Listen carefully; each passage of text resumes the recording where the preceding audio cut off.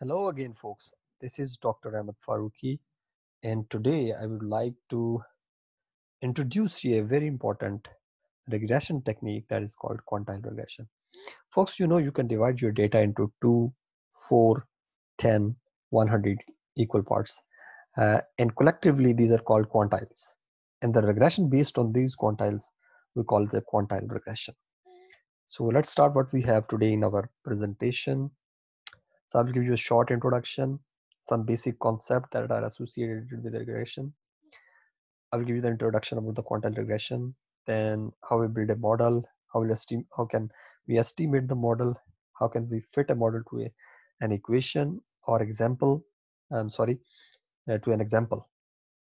And finally, I will give you the code to estimate that, uh, you know, the example, right? So let's start with the introduction. Uh, you know, the idea of uh, regression came from genetics with a very, you know, the renowned statistician Francis Galton in late 19th century. Folks, Galton observed that the parents with tall, uh, uh, tall parents of tall children and short parents of short children. Also, he observed that though the tall parents have tall children, but their average height is less than their parents. Similarly, uh, short parents have short children, but their average height is uh, more than their uh, parents' height. So you can see in both situations, both averages are going back towards the normal average height, right? So this phenomena of going back towards average called regression. But today, regression is used to study the relationship between a response variable with at least one predictor variable by developing model with certain parameters. These parameters are then estimated and the fitted model can be used for uh, prediction and forecasting. For example, we can say uh, there is a relationship between systolic blood pressure and uh, age, right? And we can uh, study this relationship. We can um, estimate the parameters and we can use for the future forecasting.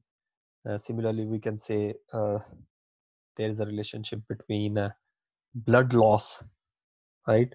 and the weight right the people who has more weight they are like uh, there is more chance that they have they they they, have, they can have more blood loss right if they have any accident or some kind of other problem so basically a regression is the relationship between uh, one response variable and uh, more than one predictor variable. Uh, we can have more than one response variable and we can go to advanced statistics and we can study those relationship also. But let's start with some basic concepts. Scatter plot. If you plot two variables uh, and you can see the dotted points and this is your scatter diagram tells you the relationship uh, response variable a dependent variable yi is a pre-assumed effect whose values depend upon another value.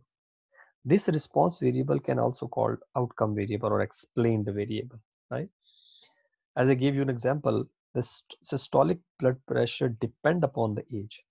So systolic blood pressure is your response variable that can be related or that depend can depend upon age or gender could be this could depend upon gender also right?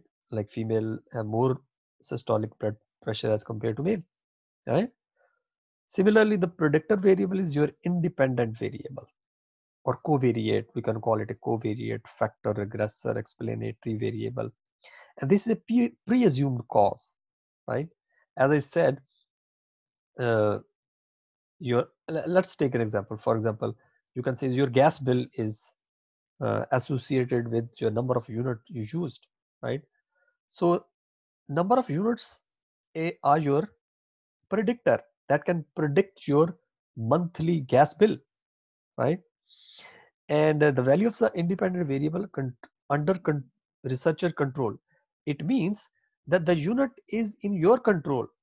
If you use, uh, like you you can see in the when there's a hot weather and people use uh, uh, air condition, but normally they use uh, say when they they are going for sleep right? Or in the afternoon when there is pretty hot right? So it's on in your control. So predictor variable is in your control right? So this is a predictor this can be manipulated by the researcher. Linear relationship if a scatter plot shows you a like kind of a straight line relationship straight line graph that relationship is called linear relationship. Otherwise it is called non-linear relationship. Model is basically an equation where you can put your uh, variables and your uh, estimators slope. You can see in the model y is equal to alpha plus beta x. This beta is the regression coefficient of x this is called in mathematics we call it slope right? That tells you the average change in your response variable yi due to one unit change in your predict predictor variable xi for example if the answer of your slope is 2 it means for every one unit change in a predictor variable uh, xi there is a two unit average change in your response variable right simple linear regression if you have only two variable you want to study the relationship and it's like a graphs look like a straight line that relationship is called simple linear regression. You can study that relationship. Uh, quantile regression. Folks in researcher uh, uh, researcher in medical social and behavior science they are always interested to study the relationship uh, and the main objective is to estimate to build a model to estimate the model and to then use that model for the prediction right? Uh, but the problem is the presence of outliers and non-normality of the population distribution is a challenge. And that can increase your error variance and reduce your power if you will use a traditional parametric statistics right keep in mind in medical social and behavior science your data you will not see your data that is normally distributed right? At least 95% of the time. Uh, i am mostly i mostly work with the medical data and i can i i never seen uh, the data that is normally distributed right? Always whenever whenever i plot the data the histogram the i i used to apply some kind of test uh, to test the normality i always end up with the uh, you know the rejection of my null hypothesis the data follow the normality. So be careful while you are using your uh, analysis. So right don't like uh, play with statistics like a clay. Do statistics the right way right? And one of the disadvantage of your standard OLS method uh, it does not fit well when you have some outliers in your response variable or in a predictor on both right? Or if you take if you sample uh, the data from a non-normal population your statistical technique will not be appropriate. What happened then? You will end up with a misleading you know the conclusion. For example if you uh, if you have an outliers and non or a non-normality of your data and you fit a simple linear regression what happened? You you will not get a true estimate. Your estimates are misleading. And if you don't have a true good estimate true estimate what happen is you won't get a true standard error. If you won't get a true standard error you cannot apply any kind of test. Ultimately you will get uh, mm, you will get uh, you will reach in a conclusion that that could be a misleading conclusion. So be careful. And so there there are uh, uh, there is one more thing that i i would like to talk about. Uh, you know the simple regression that fit uh, the the relationship on the average. But what if you want to study the relationship above the average or below the average right? So you need some kind of quantile regression technique right? So there are several alter alternative for ols right? Uh, quantile regression is one of the alternative. This this was introduced by uh, roger Koenker and gilbert bassett late in 1978 42 years ago right? Uh, to study the relationship between the response variable y with at least one predictor variable xi at different quantiles like 10th 25th 50th which is median 75 90th percentile and so on right? That will give you the clear picture a clear picture of your distribution not just on the average.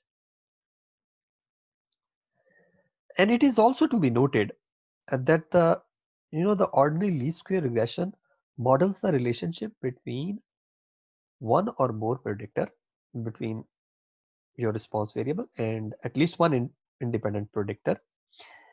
And the this relationship is at the on the conditional mean of the response variable at given xi right?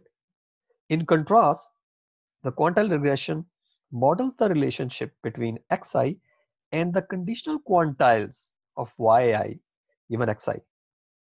And so it is especially useful in a, and is very applicable where you are looking for the for the extreme values such as if you uh, for example if you're trying to study a relationship between food expenditure and income level right? That will give you an av average income level or uh, food expenditure uh, average level relationship. What if you if you are interested in the upper or lower uh, level of income simple regression will not work. It will not give you a uh, clear picture right quant and also the quantile regression provide a more complete picture as i told you if you have a distribution which is uh, uh, like uh, not normally distributed and you, if you plot that and you will see uh, your error at uh, the your variability at your uh, different level of your predicted variable increase it's like a cone. So if you fit a model a simple regression it will pass through the mean which will not a true representative of your data. So here you need a complete picture. You want to see the you know the high end and the low end of your data right? So you can use a quantile regression. Okay so suppose we have n pair of observation.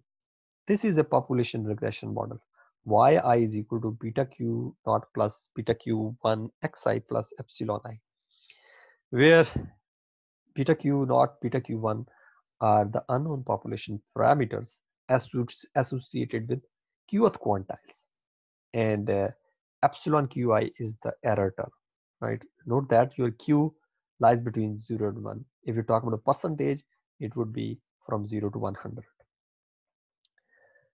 uh, let's suppose beta cap q naught beta cap q1 are the estimate of the corresponding parameters right and these estimates can be obtained by minimizing the sum of sum of absolute errors. Remember, in simple linear regression, uh, these estimates are uh, we can get these estimate by minimizing the sum of square errors, right? So here is the difference here. Here we minimize the absolute sum of errors. So what beta cap Q1 tells you, very important take home message. It is the estimated rate of change in specific quantile Q in a response variable yi for one unit change in your predicted variable xi. For example, if your Q is 0.5, which is median, then beta uh, hat 1 is your estimated change in median of your response variable y for one unit change in your predictor variable x. Beta hat q naught, again it's estimated specific quantile q for response variable y when your predictor variable x is zero. Keep it, keep it in mind, this will not always be sensible, but this is important for your model. Once you got your estimate, you you can get this equation which is called a simple linear regression law equation. How we can estimate? Uh, right. So we know in ordinary least square, uh, coefficient AB can be obtained by like based on your conditional mean of a response variable yi for a given xi. Whereas in quantile regression, q beta hat q naught beta hat q when based on the conditioned quantile of a response variable y given xi, right?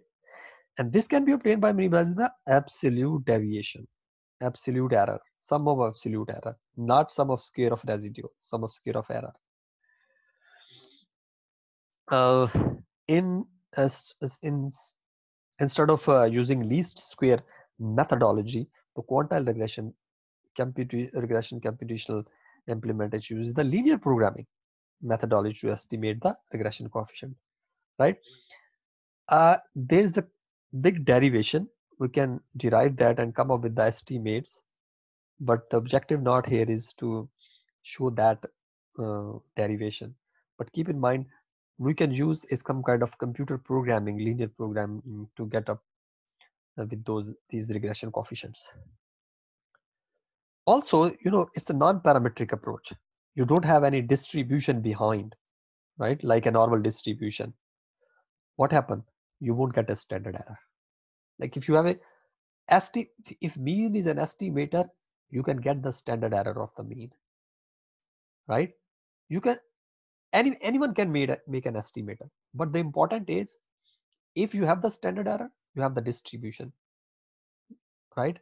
It is useful then. Otherwise, uh, I don't think it's so useful. So this is also a non-parametric approach. So we don't have any distribution function. So we don't have a standard error. What would we do? There are some alternative method that can be used for that to estimate the standard error. And they are some kind of a, a sphericity function, rank method, resampling or bootstrapping a very important method to estimate your standard error. So once you have your standard error, you can then uh, go for the statistical inference. Otherwise, Okay, we took an example. We want to see the relationship between runs and balls. Uh, this is a true data uh, taken from the 100 players, top players, uh, 10 players selected random, and we want to build a model and estimate the runs when a batsman plays 75 balls, right? So you can say plot this data. Here you can see this is an error, right? you can see there is an error I'm sorry, not that error, is a, an outlier, right? I can stop sharing.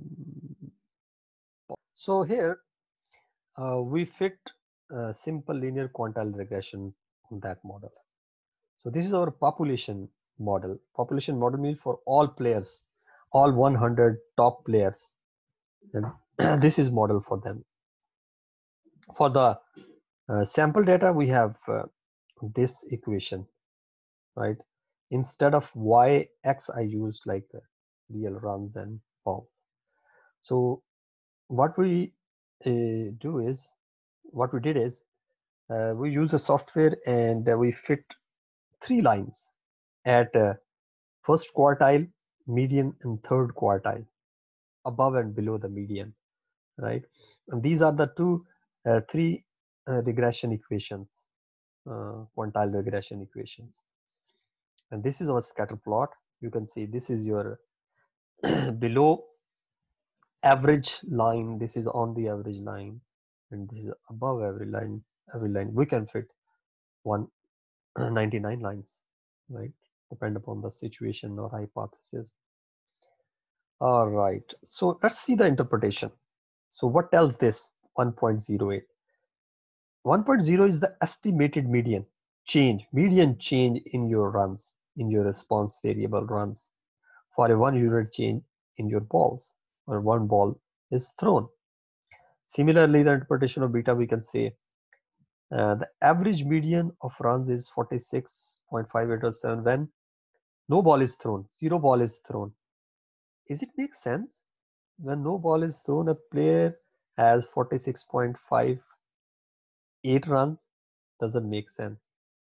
Because this 0 is not in your range. Your range started with some kind of 40 to 71 right?